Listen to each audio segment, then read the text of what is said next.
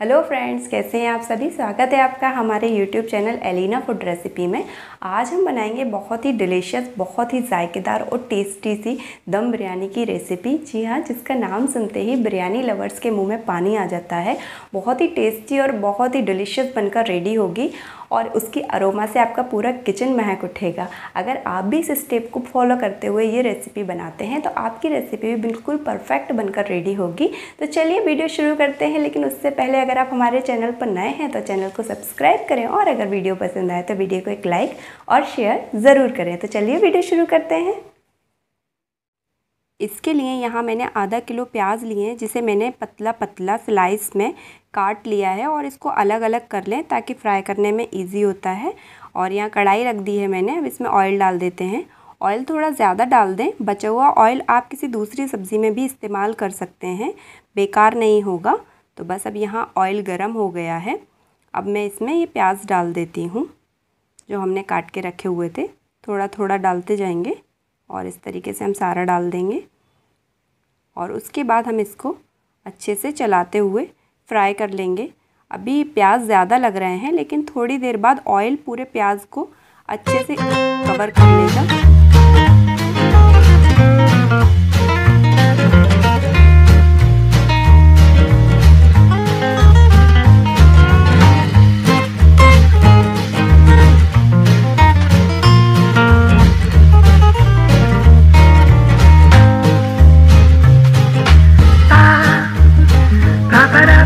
啊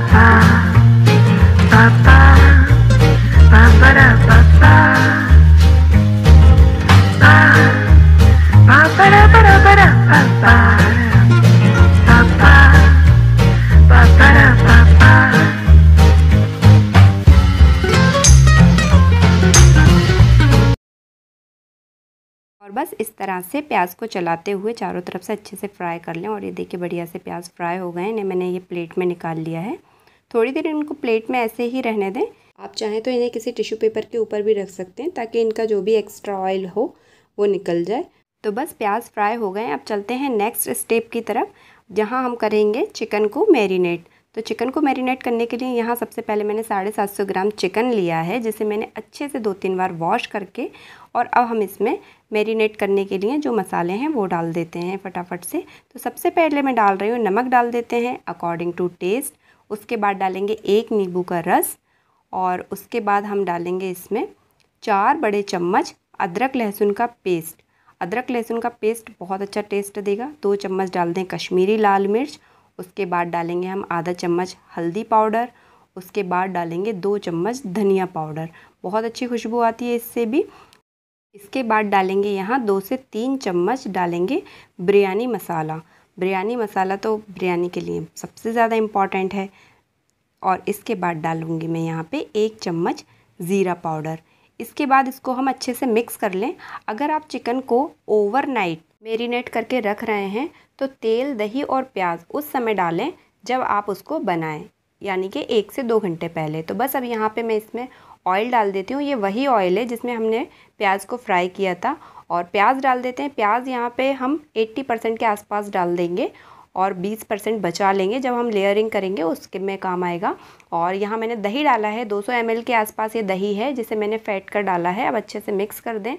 और इसमें अब मैं डाल दूँगी पुदीना और हरा धनिया coriander leaf fresh coriander leaf और धनिया इस्तेमाल करें, बहुत अच्छा टेस्ट आता है। इसके, अगर आप जिंजर गार्लिक का पेस्ट भी फ्रेश इस्तेमाल करेंगे तो उसका टेस्ट बहुत अच्छा आता है। तो चलिए बस ये चिकन रेडी है। अब हम इसको कुक कर लेते हैं। इसके लिए यहाँ मैंने ये बिरयानी पॉट लिया है। आप कोई भी मोटे तली का बर्तन यूज़ करें, जिससे क्या होगा, जब आप बिरयानी को दम करेंगे तो वो नीचे तली में लगेगा नहीं। बस अब मैं इसमें एक बड़ा चम्मच घी डाल रही हूँ। आप चाहें तो ऑयल भी यूज़ कर सकते हैं। बस अब ये जैसे ही घी गर्म हो जाएगा, हमने जो चिकन मैरिनेट करके रखा हुआ है, वो इसमें डाल देते हैं। सारा डाल दूँगी मैं इसमें। और ये जब चिकन डालने के बाद, अब इसको ओपन पेन में ही और तेज़ आँच पे करीब करीब पाँच से छः मिनट तक अच्छे से भून लें। अगर आप चाहते हैं कि आपकी बिरयानी का टेस्ट सुपर आए तो उसके लिए आपको fresh ginger garlic paste, fresh coriander leaf, fresh mint leaf, आप सारे मसाले फ्रेश यूज़ करेंगे तो टेस्ट बहुत अच्छा आएगा, बहुत इन्हेंस होता है, बहुत फ़र्क पड़ता है इस चीज़ का बिरयानी पर। और आप जितना चिकन को भूनेंगे, उतना ज़्यादा टेस्ट आता है। परफेक्ट बिरयानी बनाने के लिए बिरयानी में सारे स्टेप बहुत इंपॉर्टेंट हैं। इसलिए वीडियो को बिल्कुल स्किप ना करें। एंड तक देखें। बहुत ही डिलीशियस बिरयानी बनकर रेडी होगी। तो यहाँ पे मुझे करीब पाँच से छः मिनट हो चुके हैं चिकन को भूनते हुए। बस अब इस स्टेज पे हम इसमें कुछ और चीज़ें ऐड कर देते हैं, जिसमें मैं यहाँ डाल रही हूँ दो टमाटर, जिन्हें मैंने छोटा छोटा काट लिया है। पाँच से छः हरी मिर्च डाल देते हैं। टमाटर बिल्कुल ऑप्शनल हैं। अगर आप चाहें तो स्किप कर सकते हैं। वैसे भी अभी मार्केट में टमाटर बहुत महँगे हैं। तो बस अब यहाँ पे जैसे ही थोड़ा सा ऑयल सेपरेट होने लगेगा, दो मिनट टमाटर डाल के भून लें और जैसे ही ऑयल सेपरेट होगा, हम इसको लिड लगा देंगे और करीब इसको 10 से 12 मिनट तक कुक होने देंगे। बस ये लिड लगा देते हैं हम और इसको स्लो आँच पे अब 10 से 12 मिनट के लिए ऐसे ही छोड़ देंगे ताकि चिकन जो है वो बहुत अच्छे से कुक हो जाए। करीब हमें ninety five percent ninety ninety five percent ही चिकन कुक चाहिए, क्योंकि बाकी का जब हम वो राइस के साथ भी पक जाएगा। और ये देखिए, यहाँ मुझे दस से बारह मिनट भी हो चुके हैं और चिकन बहुत ही टेस्टी लग रहा है। टमाटर भी सारे गल के मैश होकर इसमें मिक्स हो गए हैं। बस अब इसको गैस बंद कर देंगे और चलते हैं नेक्स्ट प्रोसेस की तरफ़। तो यहाँ मैंने ये लॉन्ग ग्रैंड बासमती राइस लिया आप कोई भी बासमती राइस यूज़ कर सकते हैं। साढ़े सात सौ ग्राम राइस है ये क्योंकि चिकन भी साढ़े सात सौ ग्राम है। तो इक्वल क्वांटिटी में ही बिरयानी बनाते हैं। तो चलिए सबसे पहले इनको तीन से चार बार अच्छे से वॉश कर लें, ताकि इसका जो स्टार्च है वो सारा निकल जाए, और उसके बाद हम इसको एक घंटे के लिए भीगने को छोड़ देंगे। यहाँ मैंने इसको तीन से चार बार अच्छे से धो लिया है। बस अब मैं इसमें पानी डाल देती हूँ, ताकि राइस जो है वो अच्छे से भीग जाए। पानी अच्छे से डाल दें, ताकि जो राइस के ऊपर तक पानी आ जाए, पानी पूरा राइस को अच्छे से कवर कर ले और इस तरह से एक घंटे के लिए राइस को भिगा दें। अब नेक्स्ट स्टेप लेते हैं राइस कुक करेंगे। तो यहाँ मैंने एक भगोने में पानी लिया है, करीब चार से पाँच लीटर के आसपास ये पानी होगा। पानी थोड़ा ज़्यादा ही लें ताकि चावल अच्छे से बॉयल्ड हो सकें उसमें। तो जब पानी एकदम बॉइल्ड मोड में आ जाए, एकदम अच्छे से उबलने लगे, तब उस समय में हम डालेंगे ये खड़े मसाले। जिसमें मैंने दो तेज पत्ते डाले हैं दालचीनी डाली है, दो टुकड़े और काली मिर्च डाली हैं, दस से बारह छोटी इलायची डाली हैं, पाँच से छः लौंग डाली हैं, बड़ी इलायची डाली हैं, दो एक चक्र फूल डाल रही हूँ, जावित्री और यहाँ मैंने डाला है ये शाह ज़ीरा। उसके बाद डाल देंगे नमक। नमक थोड़ा ज़्यादा डालें ताकि पानी एकदम खारा हो जाए, तभी वो चावल में अच्छे से सेट होगा। आधे नींबू का रस डाल दें और ये नींबू भी इसमें डाल दें, इससे चावल एकदम खिले खिले बनेंगे और एकदम वाइट कलर आएगा। बस पानी एकदम उबल रहा है तो बस इस स्टेज पे ही हम इसमें राइस डाल देंगे।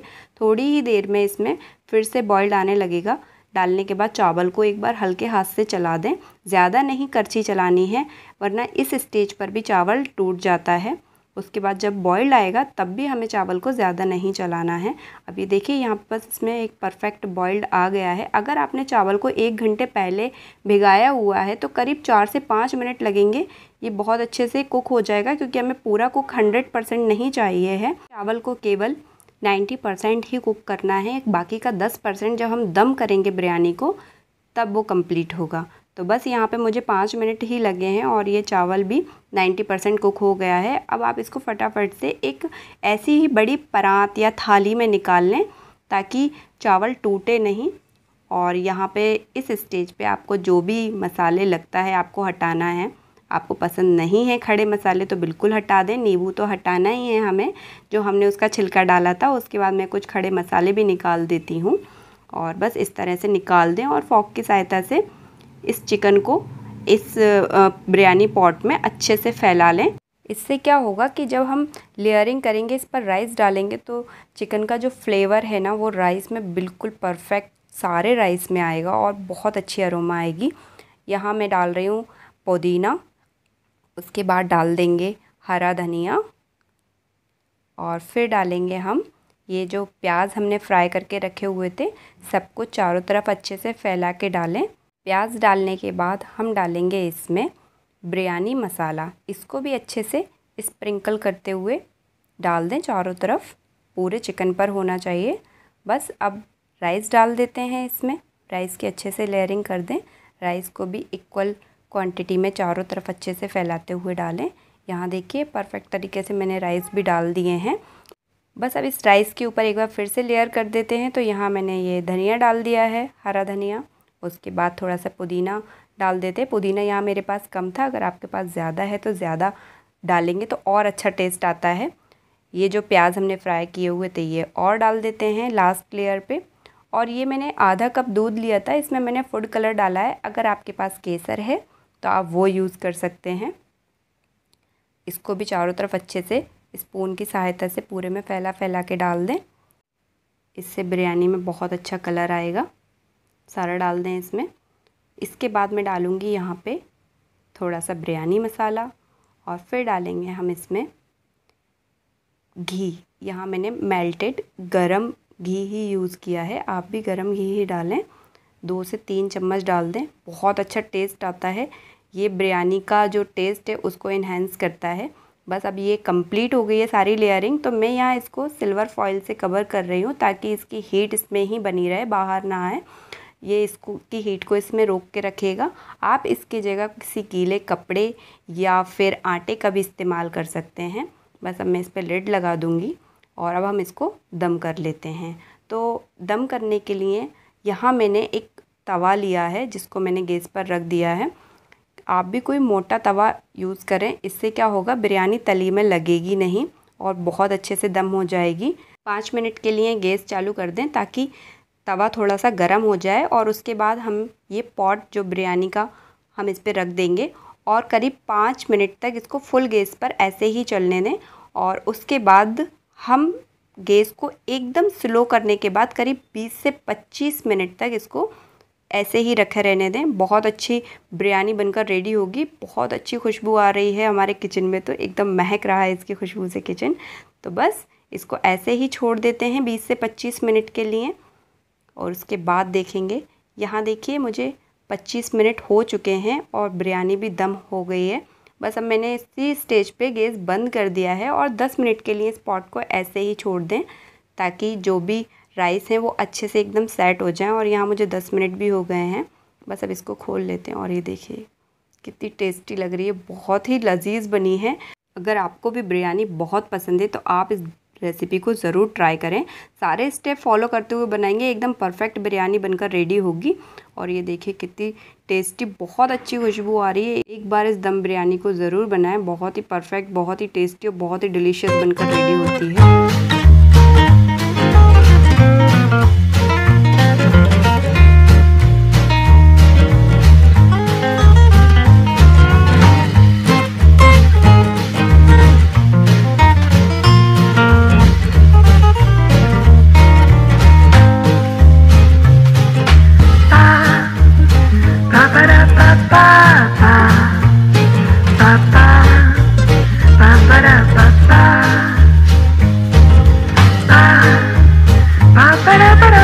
तो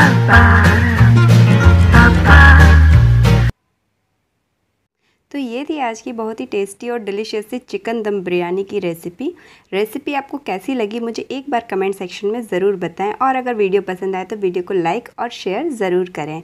और अगर आप हमारे चैनल पर नए हैं तो चैनल को सब्सक्राइब करें। Thanks for watching